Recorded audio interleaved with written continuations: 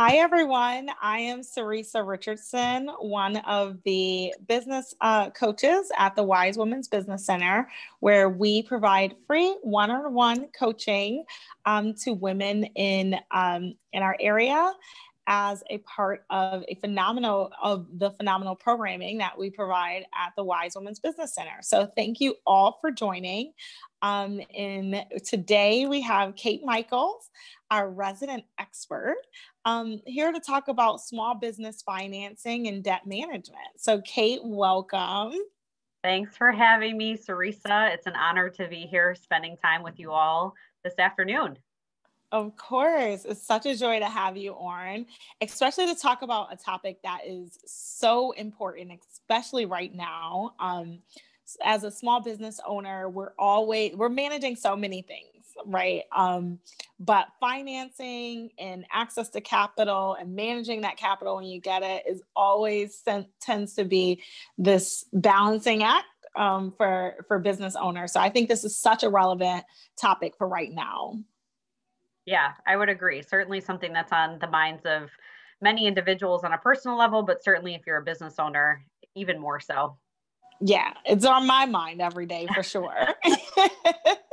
so why don't we like open up, Kate? Uh, tell us a little bit about who you are, your um, experience in this industry, and just a high level um, introducing us to this topic of debt management as a small business owner. Yeah, absolutely. So, as Teresa mentioned, my name is Kate Michaels, and I am a financial advisor with Northwestern Mutual here in Syracuse. And I've been in the industry now for over 13 years and work with many individuals, many families, but also many small business owners when they're thinking about how to manage um, personal finances, but also as it relates to their business finances as well, and sometimes both.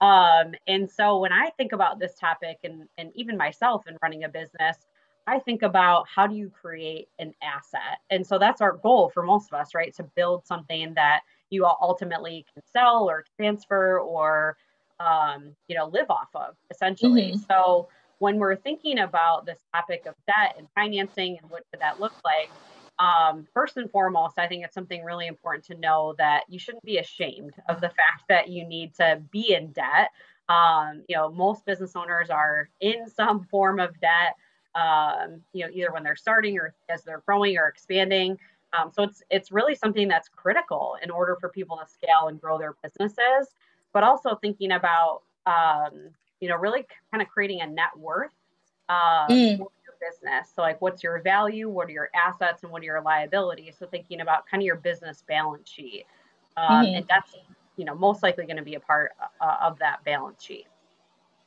I love I love that you opened with the stigma of debt because there is a bit of a a negative connotation attached to it. Although I like to, to say it's a tool, right? Mm-hmm. It's one of the many tools in our toolbox as a business owner. Um, and we, we should look at it as just that. So I, why don't we open Kate with this concept of good debt versus bad debt? Because I do mm-hmm. think that's a thing um, what do you think? Is there a such thing as good debt versus bad debt? And how do you think we should look at that as business owners? Yeah, for sure. Absolutely. There is a difference between good debt, good debt and bad debt, kind of like good stress and bad stress. Um, yeah. so, so yeah, so you know, again, it's it's something that you shouldn't be ashamed or fearful of because it's kind of a necessary evil as far as you know growing and operating. Very few people are fortunate to have enough capital just to you know pick up and start their business. Right, um, right. So bad debt, I would think about it. And again, it's very similar to what we experience on the personal side of things. Like bad debt might be, you know, credit card debt that you're carrying a balance or is a really high interest rate. And, you know, if you're not paying off enough of that principal, you're going to continue to compound the interest. Um, and ultimately, it's going to increase the amount that you end up owing.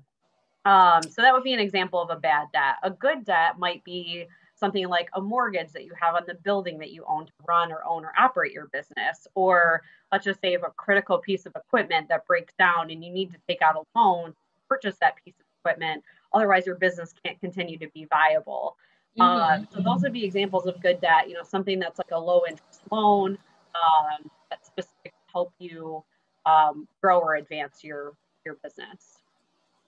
So, you know, I, there were a couple of tidbits in there that I picked up. One is looking at interest rates mm-hmm. um, when you're you're com- comparing your debts um, in order to sort of categorize the good versus bad. And then the other is this concept of growth, like mm-hmm. taking out financing or seeking out financing to help grow your business. Right. Um, what about Kate? I'm gonna throw for a loop because you know, I actually got this question um, from one of my custom, one of my clients, one of our business coaching clients. Is what about taking out debt to operate your business? Is that a good or a bad thing? Um, and I know that's a very high level question. Um, when you think about as a business owner, you should your business, right, should be covering its operating expenses. But at a time like COVID, where for many reasons, you know, mark, market conditions and all of the things, when your business is not covering its operating expenses, would you consider that um, as a bad debt to take out? I mean, not necessarily. And it goes back to, you know, you might have something that, you know, is really unexpected that comes up. Like, for example, the, you know, breaking of a piece of equipment that you can't, you can't function without. And if you don't necessarily have the capital and reserves, you know, taking out a working capital loan or something to that effect, where maybe it has an advantageous interest rate and you have a plan to pay that back off and you know that you are going to generate enough revenue to make that investment worthwhile um, certainly I think that those are options you need to consider, especially if it comes down to like, do I keep my business or do I take on debt? You know, you're yeah. gonna you're gonna have to make those types of um, decisions, certainly. And and what I love about what you just said is your business owners should be thinking about how to make the investment worthwhile right mm-hmm. so they should be we should be looking at this as business owners ladies we should be looking at at our debt as an investment into our business. So mm-hmm. I like to say that to my um, my clients, you know, many times we are our first and our primary investors in our our businesses right? I'm investing with my own money to start up and all these things. But then there are other types of investors your lenders and your creditors and private investors. So i agree you should be looking when you're thinking about taking out a debt um, taking out a loan or any other form of, of debt, you should be thinking about that as an investment to your business in um, how do you plan to use it? So you should have a plan, you know, mm-hmm. like how are you going to use it? Um, another thing that I heard from you is sometimes things come up. So it might, you're, you may need to take out a loan or financing to cover your operating expenses, even though traditionally you'd like to think that your business is covering those. But in the cases that it's not, in my engineering days, I call those special cause mm-hmm. situations. Um, in those special cause situations, you know, that's when, as a business owner, you may turn to other forms of um, capital, so some debt. Mm-hmm. Mm-hmm. mm-hmm. Absolutely. But what about Kate when it turns into like bad habits? So when I'm when these special cause situations quote unquote keep popping up and it turns into a bad habit. What would you say are some tools that we could use to manage our debt and to make sure that we're not um that we're not leaning on these bad habits? Mm-hmm. yeah great question. Probably the best thing that i would suggest so that you don't create bad habits when it comes to debt um, or money management and again it's it's not really any different than personal life and personal spending it's discipline and really mm-hmm. evaluating are these necessary costs in order to run and operate my business or is this kind of a, a want versus a need so you need to think about those things as well um, and as business owners you really should be making sure depending on your scale of course you may have you know cfos or you know other individuals who are managing your finances for you uh, which is okay but you as the business owner still need to make sure you're taking ownership of reviewing and um, looking at those reports on at least a monthly, if not weekly or daily basis to say, okay, where are we? How are we tracking? Kind of get ahead of some of these things. Yeah. And, and you know, it's, it can be, again, tempting to delegate those things because just because you're a business owner doesn't mean you're necessarily loving the, the financial running a business. So again, it can be tempting to have somebody else kind of take care of those things, but um, really make sure making sure on top of that and having a good checks and balances for, okay, where's money going? are we spending money on critical things? What investments should we be, we be making? Is there a good return on that investment? Um, and then ultimately, you know, as you as you have really great months um, or exceed goals, you know, maybe you, look at uh, paying down some of those debts quicker and um, taking care of some of that. So, I mean, what uh, one of the challenges that I find a lot of business owners have, especially um, business owners who are creatives so like artists or graphic designers those kind of things is we tend to want to be in that creative space you know living our business right? Um but then there are these business owner things like looking at balance sheets and ma- managing your your um cash flows and things like that that it's like you said, it's very easy and tempting to say, like, I'll just have my bookkeeper do that. yeah. Um, what about you had mentioned before during one of our conversations a um, debt management plan? Um, that I feel like for business owners, especially small business owners who don't really have a lot of time especially creatives who are just not into all of these numbers and things, but we have to be as business owners. That seemed like a really simple and easy concept. Mm-hmm. Yeah, so I think um, a, a, lot of times people might think, oh, well, if I'm getting into you know debt or I have a large uh, debt burden to carry, or maybe I have a bunch of different loans, would it make sense to consolidate? And I would say sometimes that can be really tricky, and it, it might not not always be the best thing to do because you know, it might um, extend the terms of your loan and then would create uh, can create more bad habits because now you think, oh, I have a you know one loan payment, maybe my interest rate is a little bit um, lower, and now I can free up more um, credit to then go and, and spend more. So you know you want to make sure that it, that's uh, something you consider before you get into some type of debt consolidation. So I would say that that's not always the best thing to do. Um, but instead, evaluate what debts do you carry? What are the interest rates on all of those debts? What are the balances on all those debts? And looking looking at either what we would call an avalanche style of paying off that debt or a snowball style of paying off that debt. Um, so a snowball, you know, might be taking um, you know the the low the lowest balance and paying that off first. So you feel like you got some momentum and you know you're achieving some success there. You know, whereas avalanche maybe you take uh, something with the highest interest rate and pay that debt off first. So, you know, you're having different uh, ways of looking at how do I start chipping away at some of those debts and doing so in a really strategic way.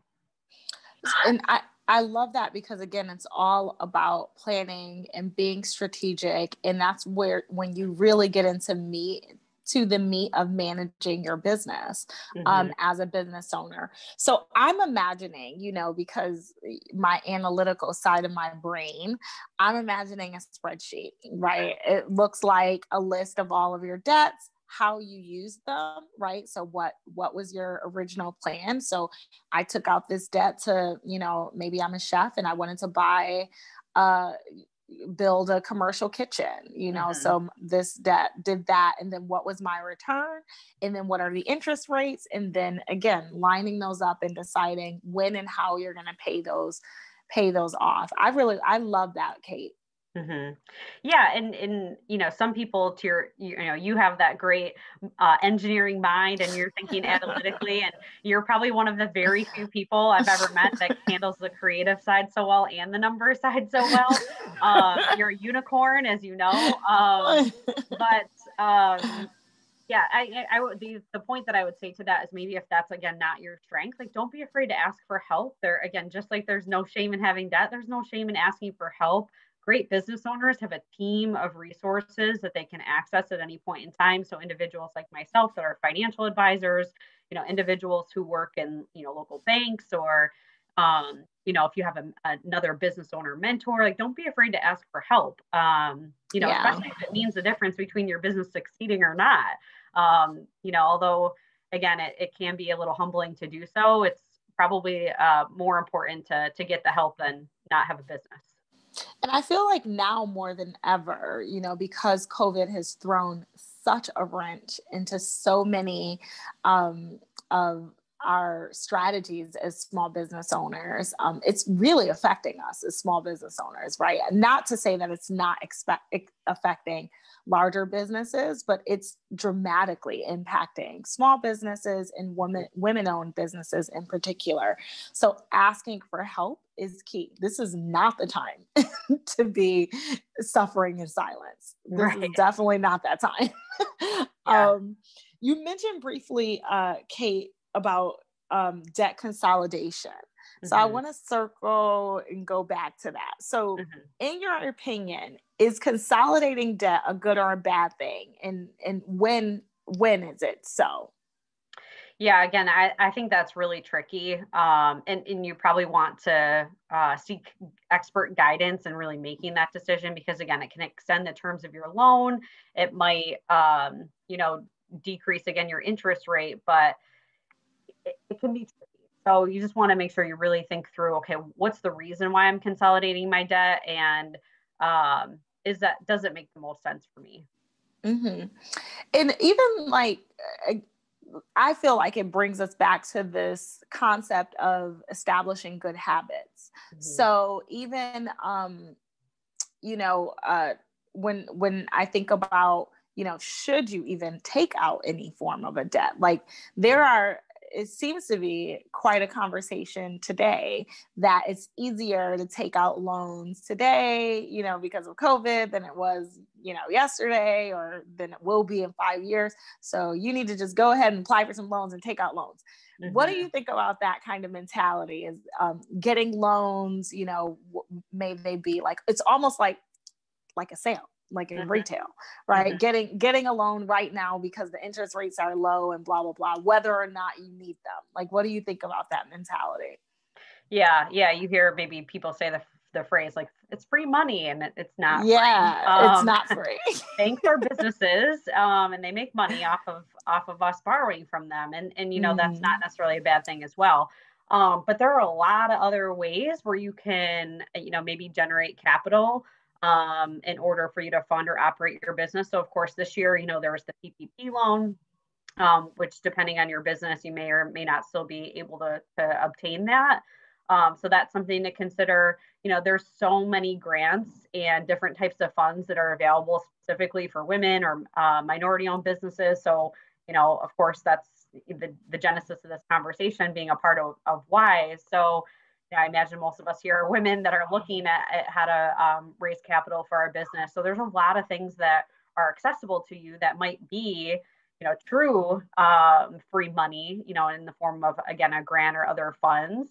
But also, you know, it might be an investor that you consider, or you know, kind of go more of a private route, a, a family member, or um, you know, somebody that just has an interest in helping you grow your business. So there are other things to consider those might not be as readily available to anyone and everybody, but certainly um, avenues worth exploring to see, you know, what are other ways in which I can, you know, help fund my business.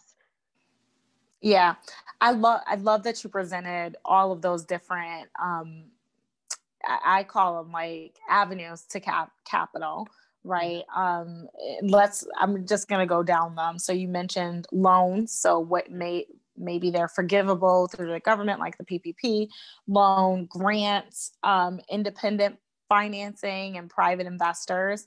Um, mm-hmm. Um, I think that category seems to be one I've noticed seems to be one that people tend to forget about approaching mm-hmm. independent financiers and investors. So, what would you say, like, if if you you know what would you say to small business owners who are considering approaching lenders or creditors or even private investors or independent financiers? What type of things do you think they should be thinking about while they're building that conversation? Mm-hmm. Yeah, that's a great question too. And I think it goes back to kind of knowing what your numbers are and, you know, being able to communicate a compelling and strategic business plan. Um, you know, people want, if they're, you know, investing their money, they want to make sure that they're investing in something that's going to pay off for them as well. So being able to communicate that effectively and show, okay, here, here's where I started, here's what my sales are, here's what my assets are, again, here's my liabilities are, and debt is a part of that. Um, they're going to want to see what those numbers are. So being able to showcase, um, again, not only what your plan is, but what, what's the data of your business, that's going to be pretty critical. I love that. So I, I'm going to summarize and say, know your numbers, folks. mm-hmm. in in those numbers, I love that you r- ran through. It's basically your balance sheet. You know, know your know your assets, know your revenues, your income, um, know how they're growing or sinking. You know, and know um, your expenses, including your your um, your liabilities, meaning your debts, um, so that you can communicate that to someone who's w- trying to invest in your business, including banks. You know, so think I like to think of lenders you know banks as another form of investor right? So they they want to know that they want to have that same conversation. I yeah. almost I, I like to like make it real plain kate so sometimes when i'm thinking about um, business planning with my my clients i always say like think about if, if you were to ask so and so one of your friends for money like hey kate can i borrow a thousand dollars like you're probably going to ask me some questions like what do you need this money for? like, what are you going to do with it? When are you going to pay me back? Are you paying me back a thousand dollars or a thousand plus? You know, what's yeah. that mean? And you know me. So that's what you're going to ask me as my friend. So someone who doesn't know me or know my business, they're obviously going to have more questions. Um, so I always like to make it plain and think about that. Like if you're approaching a lender, be it a bank or um, a creditor or um, or a private investor, they're going to want to know those same things, just like your friend will want to know, plus more. yeah, that's so true.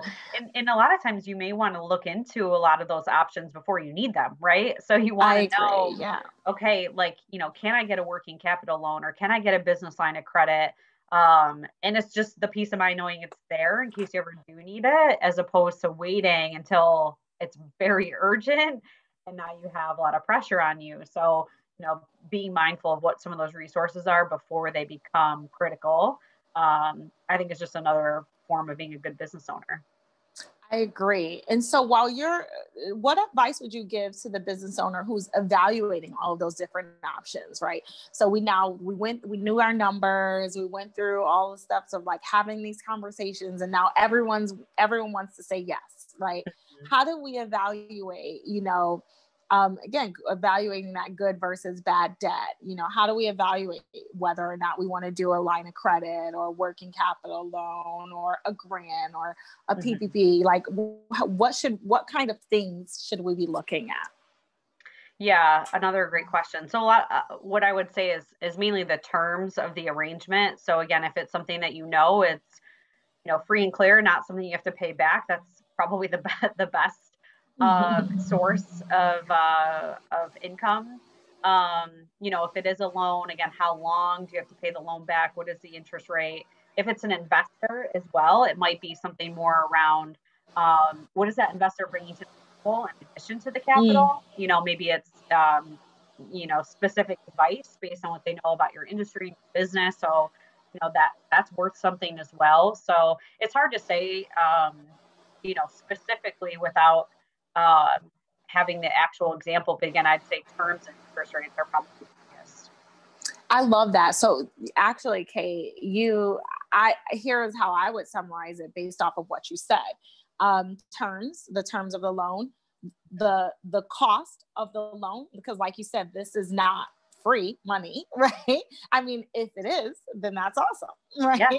So the cost of a loan and then some of the benefits. There may be qualitative benefits, like you said, that if it's a, an investor and they're bringing, maybe they're exposing you to a different market as a as a result of this um, yeah. arrangement. So there are qualitative benefits that are just you know just as beneficial as those quantitative benefits. Mm-hmm certainly yeah they may have relationships or you know to your point mm-hmm. get you mm-hmm. into different markets help you scale yeah so i'm going to pause a little bit for if, if those of you who may just be joining i am talking with kate michaels from northwestern mutual and we are discussing um, small business financing and debt um, so I want to pause a bit and see if there are any questions, um, maybe on Facebook or Zoom, Carolyn. I'll ask. Let's see in the chat.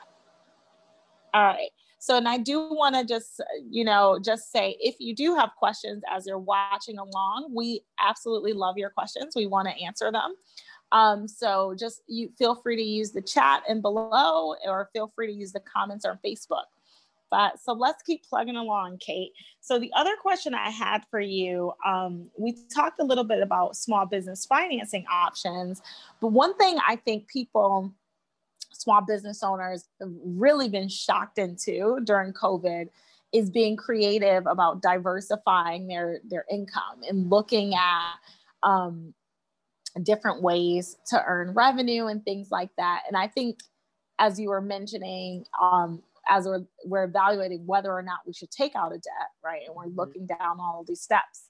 One thing we should be thinking of is how do we earn revenue and how can we be creative about those ways of earning revenue? What, what would you say about that based on your experience with um, clients this year, this year and last year in the wake of this crazy COVID time. I know. I feel like we're still in the same year. Um, we're so we're so still there right now. yeah, I think uh, so. I was exposed uh, somewhere in reading or maybe a podcast of the concept of the gift of constraint. And I think that was one of the gifts we were given last year as business owners is when you have a lot of constraints on you, that's where creativity and genius is born. Um, Ooh, so I, I love that. There were so many cool things that happened, um, for as much as much bad happened, um, there was some good that happened as far as you know uh, a good old American ingenuity, and and a lot of that again is driven by small business owners. So, like an example would be like I recently saw on Instagram um, a local golf course now is doing sledding. Like that's probably not something they would have done before had they had all of their summer golf revenue. Right. Um, so that was a really cool idea. I have a friend who, uh, friend and client who runs a consulting business, and a lot of her clients were other business owners, and she couldn't get speaking engagements. Now she's pivoted more speaking um, in the higher education space because they're still open and they have budgets. So, you know, I think just continuing to look at ways you can pivot and not being afraid to rely on the good old networking um, for growing your business. I think sometimes we become over overly reliant now as a culture on social media, and that's such an awesome way to create brand awareness and, and certainly acquire new clients um, for very minimal amount of um, income, but it does take a lot of time. And so don't be afraid to go go back to, you know, kind of quote, quote unquote, like pounding the pavement, like calling people, you know, figuring out ways to, to market yourself that are a little bit more traditional. Um, mm-hmm. Um, so that would be something that I would think about. And then, you know, you know, based on what business you have coming in, don't be afraid to maybe reduce the terms of invoices. You know, if you're waiting for people to uh, pay you back, um, you know, of course, assuming you you feel like they can, if they're not a, a business that's been negatively impacted as well.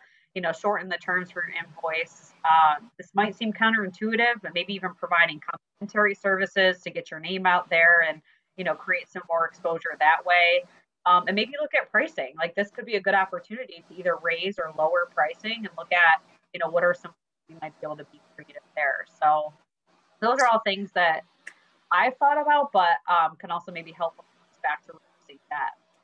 All incredible things, Kate. Seriously. And just because of that, I'm, I'm going to run through them for those who may not have caught it um, I love the idea of evaluating pricing. Many, many businesses, especially small business owners, we get sort of stuck in, in a pricing rut and we forget to reevaluate our business, our um, pricing.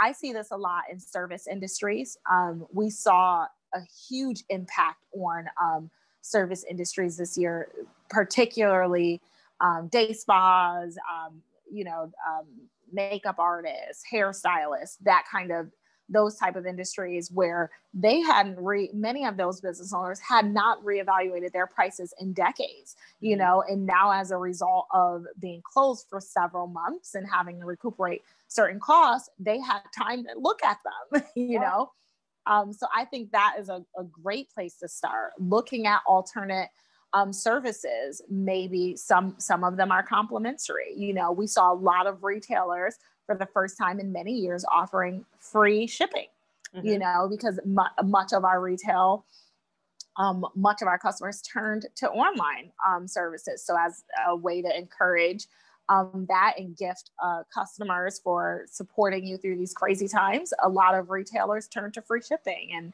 um, I love the idea of returning to some traditional forms of marketing, traditional touch points, picking up a phone and calling customers. You know, I love the idea of returning to that um, as a way to to um, re- return to that one-on-one um, mm-hmm. service and business model. So evaluating whether or not that might work for your small business.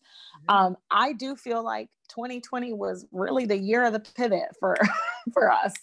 We might be reading that in a book somewhere in a few decades. So not relying on traditional forms of um, promoting or, or generating revenue. So, traditional forms of marketing or traditional streams of revenue. So, I loved that many business owners last year and going forward are looking at you know new and unique ways to generate business sort of like your golf course now turning into a sledding place. I want to take my daughter there. So you'll have to send me send me that info.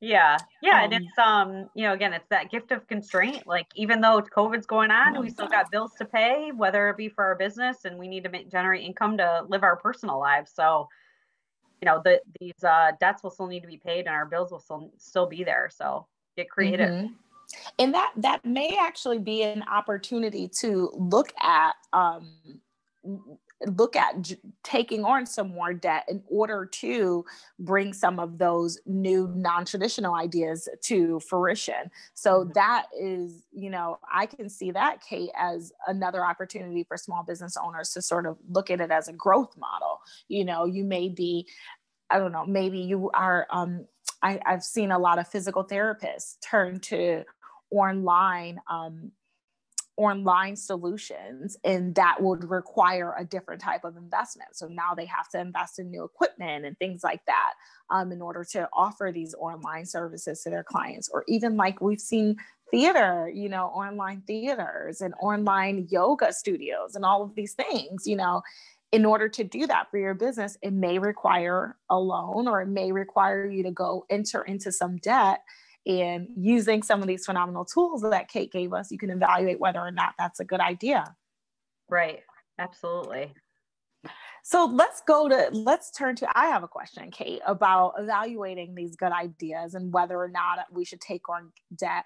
You mentioned one of the things you should evaluate is whether or not it'll be a good return on investment. And I feel like small business owners hear this a lot and it's a little bit of a cliche statement. Mm-hmm. So, what would you say that mean, that should mean to um, a small business owner? Yeah. So, uh, you know, really what, what I what the phrase at least means to me is if you're going to invest or borrow or take on a certain amount of of debt or again maybe it's an investor that you're paying an interest rate back to um, you need to make sure that you're at least generating the, enough to pay that back and then some. Um, so that's really what what that would mean is that it's it's not going you're not going to take out $50,000 in debt to only make 30,000 for that investment you know mm-hmm. none of mm-hmm. us would really want to do something like that and again you know there are risks so you might end up being in a situation where you end up taking a risk that doesn't pay off and that's okay too that's part of being a business owner you're taking on those risks and you're going to learn from it maybe grow from that um, but by and large you want to look at okay is this going to be worthwhile and ultimately am i going to be able to recoup my investment pay it back and hopefully have some additional income. Yeah. And it's you know i i love to be a little honest and transparent here. It's scary to do that you know yeah. like it's really scary to to especially think about ways of growing your business and actually like jumping out there and doing something non-traditional. Um, but when you when you talk about this return on investment and how you evaluate whether or not you should do that um, I like to think of it is like you had mentioned, there is a cost to this debt, mm-hmm. right? It's not free money. And if it is, that's awesome. Definitely do that.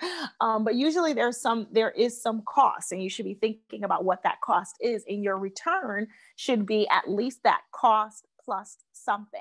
And what is that plus something? Maybe it is a quantitative benefit. Maybe it's a plus, you know, um, some more financial. So maybe you're profiting off of it.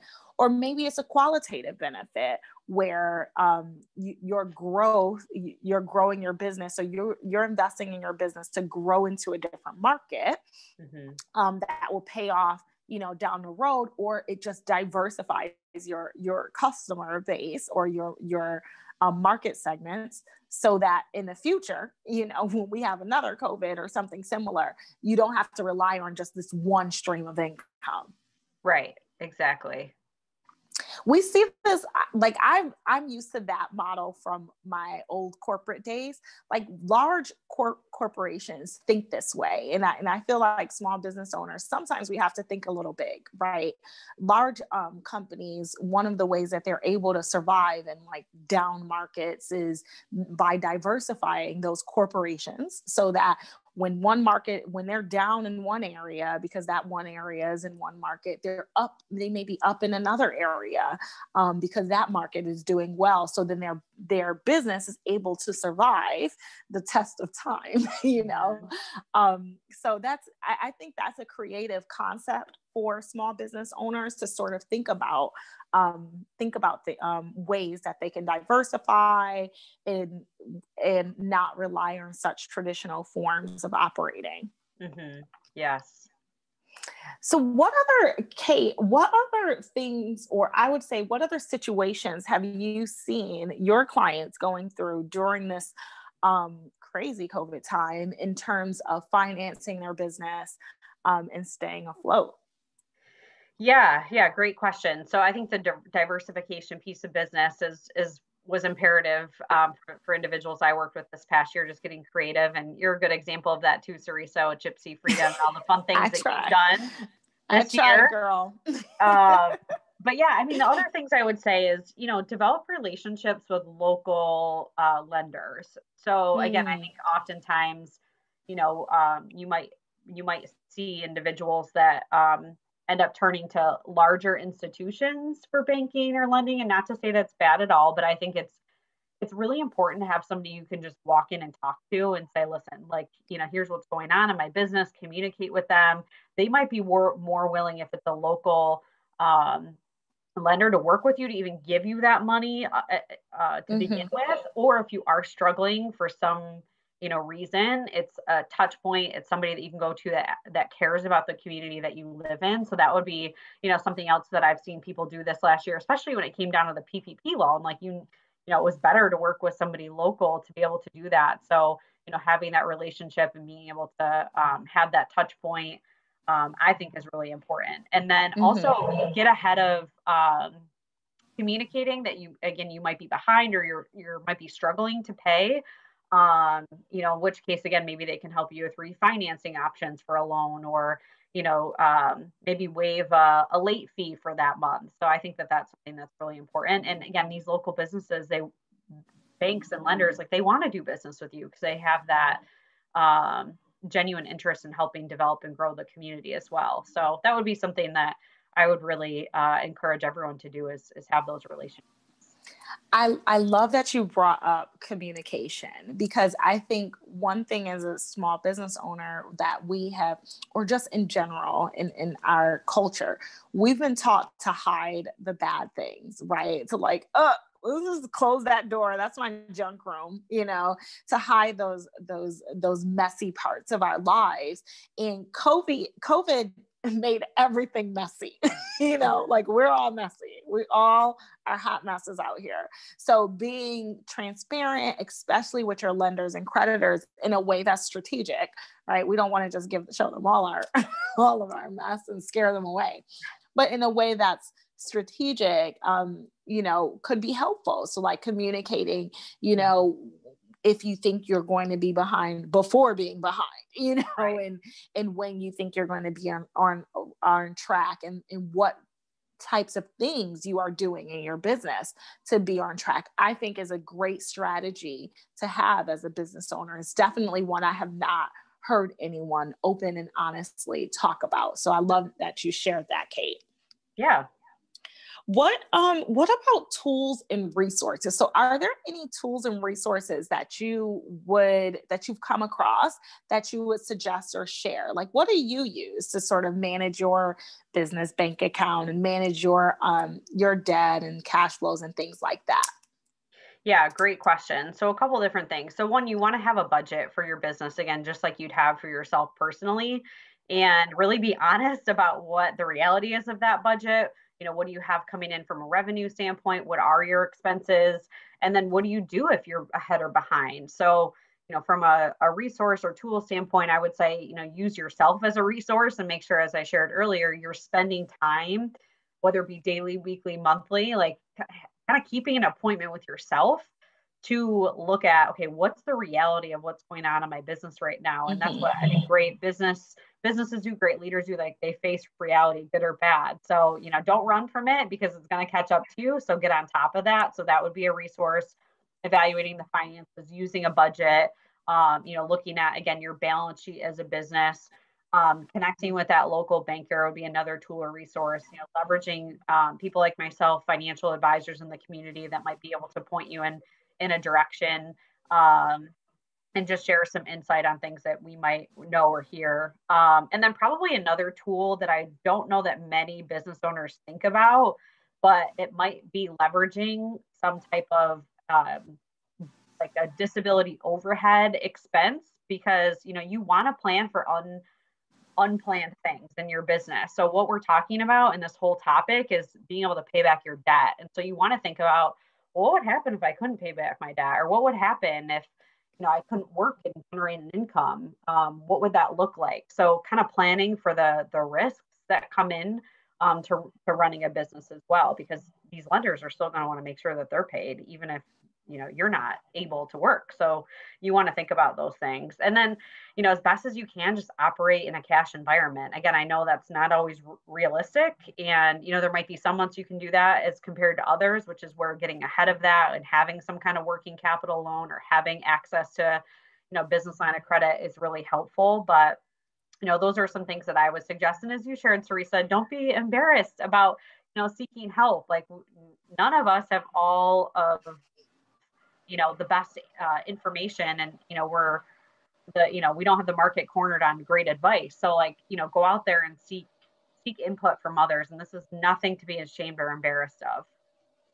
Is now you, so one resource that i feel like business owners forget to tap into are people right? So people yeah. resources. And you know we have many of us have mentors and advisors. Is there such a thing as a debt advisor? Um, not that I'm familiar with, and I I think that goes back to more of like you know ba- uh, working with a local banker or a local financial advisor. Um, you know, and, and these people aren't you know you're not necessarily paying them to sit down and talk to them um, but certainly people that you know you can form a relationship with and have kind of on speed dial. So when you have those one-off questions, or an accountant would be another example of that. Mm-hmm. Um, you know, even talking like the Dementor or calling your uh, friends at the WISE Center. You know, people do want to help. Like we live in such a caring, collaborative community. Like take advantage of the fact that people have so much pride in this community and are so willing to support local business owners that you know, um, you're you're going to get love um, if you turn to, the individuals for help. Yeah. And I think, you know, one other area um, that you can use people as a resource is best practice sharing. So reaching out to other business owners who are in the same industry as you, who do this well, or, you know, who have been doing this for a long time, you know, reaching out to them and sharing, you know, hey, how are you doing this? And, you know, here's how I'm doing it, or how did you do such and such, you know, or what are your typical, you know, ways to do XYZ? It, it really does, you know, it does take a bit of transparency um, to, to do that, but best practice sharing is definitely a great way to grow um, and use people as a resource. Mm-hmm. Yeah, that humility goes a long way. And I think naturally as as human beings like we, we'd be wired to kind of seek out hey what what is like a competitor doing or what is someone else in my industry doing? And there's value yeah. in that but yeah. there's also so much value in seeing what are people in different industries or businesses doing to your point kind of asking somebody that you look up to in the community like hey i'm struggling with this. I just thing um i can't imagine someone's going to turn you down for that. Yeah.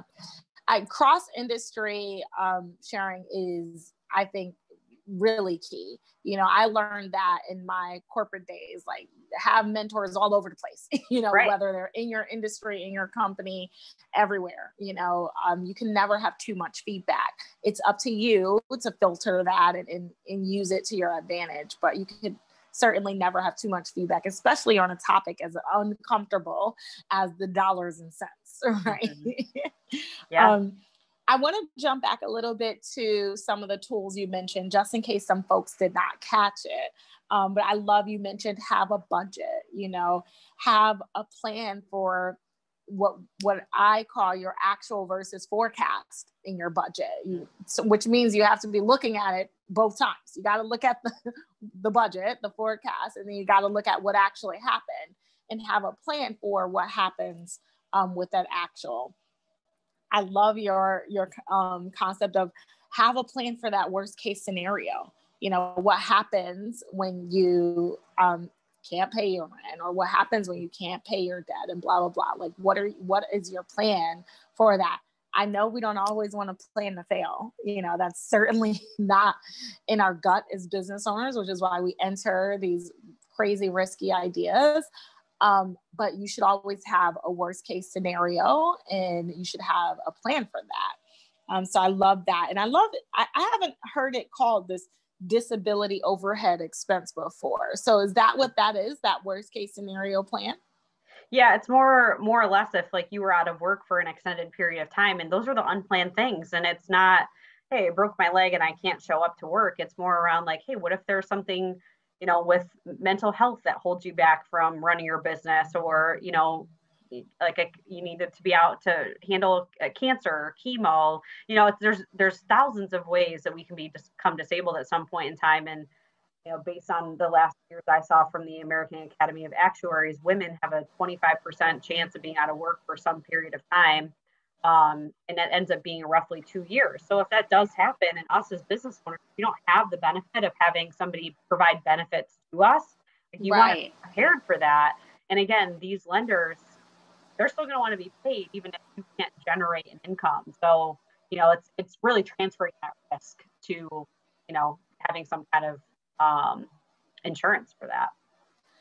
I love that also um, from an operating perspective um, because it lends itself to succession planning, mm-hmm. like um, for people who are business in business for themselves, so small business owners who they are the business, right? So if I am a therapist, like it's me, you know. So what happens when I can't, you know, operate um, operate the business? So having some form of a succession plan um, in place as well. I so I love that concept. Um, we talked about leveraging resources and people. Um, I love your um, your tip on making sure we're setting that time aside to be business owners, right? And, and I see this a lot with um, creatives. I see this a lot with um, business owners who are very passionate about the actual operating side of their business and not so much the payroll and all of these things. And yes, you can outsource that out, but you should certainly be setting time aside on your calendar, especially if you are the owner and CEO of your business. You should be setting time aside, aside on your calendar to operate. Yeah. So there should be CEO hours, you know, on your calendar, and it may force you to look into um, maybe that's how you expand your business into and look into hiring an employee to give yourself that hour or two to do that. Mm-hmm. Um, so I like to call it business formation time, you know, so you, it's an appointment with yourself. It's a date with yourself in your business, just like you would treat your client. You would set that time aside and no, you can't double book it. That's your time, you know? Um, so, and then we talked about budgeting and planning um, and using people as a resource. So I genuinely, I, Kate, you were incredible today. Such great tidbits.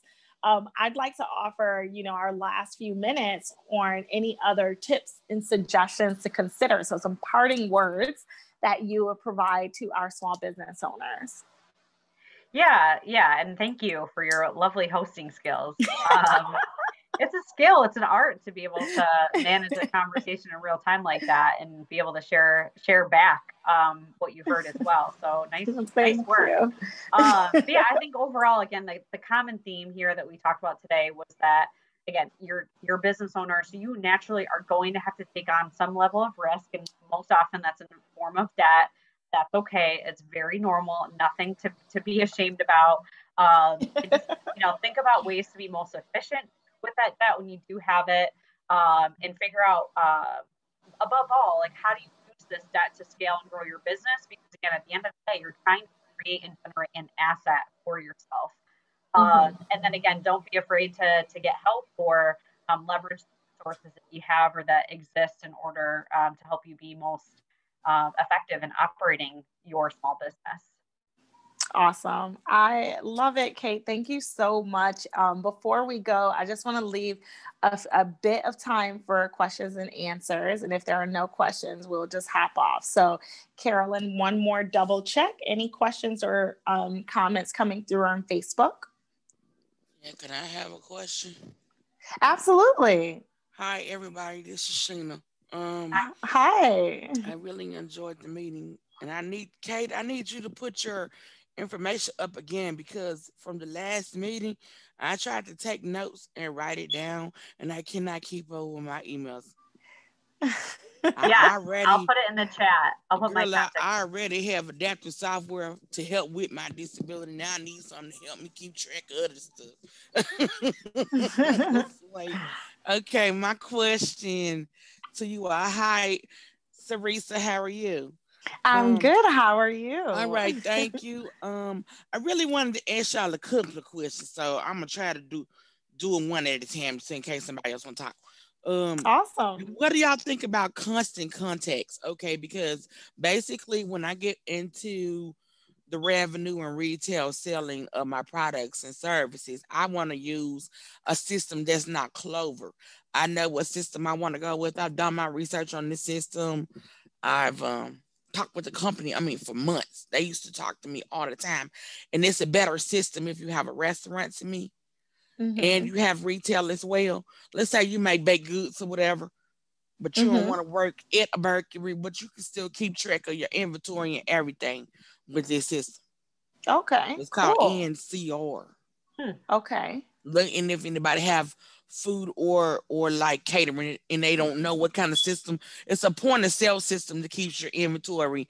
You can put in how much money you pay for your items as well and it'll give you like a a synopsis or collage of what your profit margin could be if you wanted this percentage profit, if you wanted this percent profit, uh, what profit margin you need to break even to not be in the red, you know, stuff like that. Um, because for a long time from the beginning, I found out I wasn't negative most of the time. I was just breaking even most of the time. Right. It appeared to be negative, but when hmm. I learned how to formulate what was coming in and what was going out, learn how to multiply, divide it, and subtract it, I always came out with what I started with. I was never negative. Mm-hmm. I always got that number I had when I started more than once. And if you can get that number three times, you're really on track. And it's like three, it's not an even number, but it's about even the odd numbers matching. Mm-hmm. So, and it does with because it's a formula, it's a new math formula. And I taught some of my friends how to do it. And I'm like, and I'm autistic. I, I didn't have nobody teaching me finances. I so was, you're talking about Sheena, the break even. Um, yeah, I'd rather break even than be the negative. That's yeah. That's yeah. better than being negative. Cause sometimes so, you can be negative a dollar and then you got two hundred dollars in negative charges before your deposit come in and you just screwed already. So let's so did you so let's get to your question though. So what was your your question about your break even concept or i don't know how i break even but i do. So my thing is what do y'all think about constant contacts i noticed you said Caeresa is a good method to have some type of direct contact with your customers and i agree mm-hmm. but if you don't have customers, what good is constant contact for? I mean, and I feel like I'm learning as I'm going because like I had all of this stuff in the past, but I had the clients, but I wasn't getting paid. So I've been on every end you could think of. How many um, years have you been in business? A long time. I'm gonna put it that way. Too long to be look too long to be here learning. you know what is your business? Never. Um, my business, Kate, is I I'm not freelance. I'm licensed in the field that I went into. Okay. And so I just basically took the whole field, which I told you before is I went into cosmetology. But okay. I'm on the nutritional side, the scientific side of nutrition, the scientific and the anatomy side of your body. I'm on the nutritional side of your nerves. Oh. Our nerves have a nutritional side too. What's the name of your business? The Mirror's Image. That the is, Mirror's Image. Uh-huh. M I R R O R S apostrophe image. And you, and you said you you're not sure how you are breaking even, and you wanted to know. That's because about... I've always self invested. That's why I'm breaking even. Mm-hmm. I just mm-hmm. don't know how I'm breaking even.